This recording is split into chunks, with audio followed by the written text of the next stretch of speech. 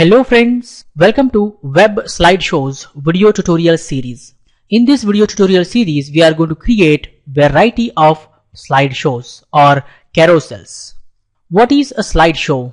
You can see here I have created a folder called slideshow. I double click on it to open and also I have a default.html file. I right click on it, say open with the Google Chrome.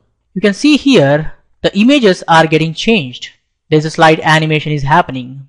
This is a slideshow where each image is considered as one slide. The slides are getting visible one after the another. I think you people want to know how to create such slideshows, how to create such web slideshows.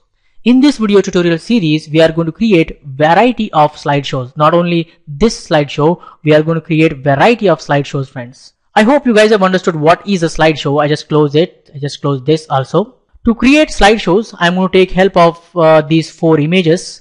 Image 0.jpg, image 1.jpg, image 2.jpg, image 3.jpg. I select this slideshow folder. I am going to delete this, shift delete, hit enter. In the next video tutorial, we are going to start creating slideshows. I suggest to people to watch this video tutorial series carefully and understand how to create slideshows and you should be able to modify slideshows. You should be able to create your own slideshows. So for this video tutorial, this much is enough friends. For more benefits and be up to date, please subscribe to my YouTube channel. Don't forget to like, comment and share these videos with others so that everyone will get benefited.